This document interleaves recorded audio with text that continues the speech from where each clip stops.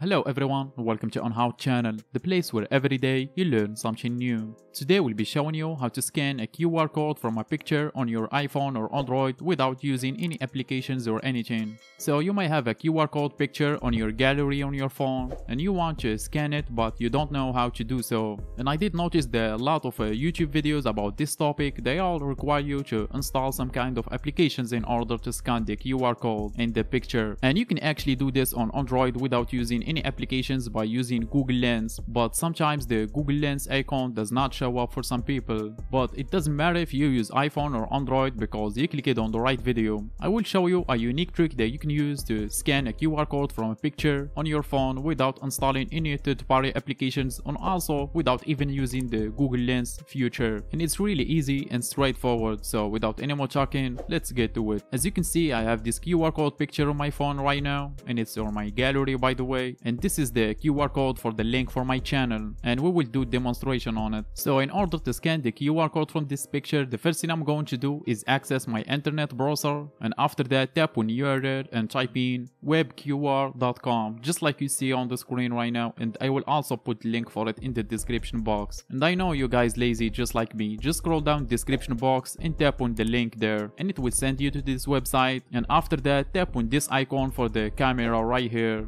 And it will show you this option in the middle of the screen. It says drag and drop a QR code here and there is a choose file button right here and just tap on it and pick the QR code picture from your gallery just like you see I'm doing right now. And after you did pick the picture you should see the content for it below it just like you see in my case and it's really quick and as I said the QR code from my YouTube channel and here is the link for my YouTube channel and if I tap on it it will send me to my YouTube channel on the YouTube application just like you see right now. And by the way you see how many videos I have? It's 192 videos and they are all tutorials on how to do stuff online. So if this video helped you out and if you are interested in learning new tricks and expanding your knowledge, make sure to join the family by hitting the subscribe button. And as I said, I will put link for the website in the description box. And thanks for watching and catch you on next one.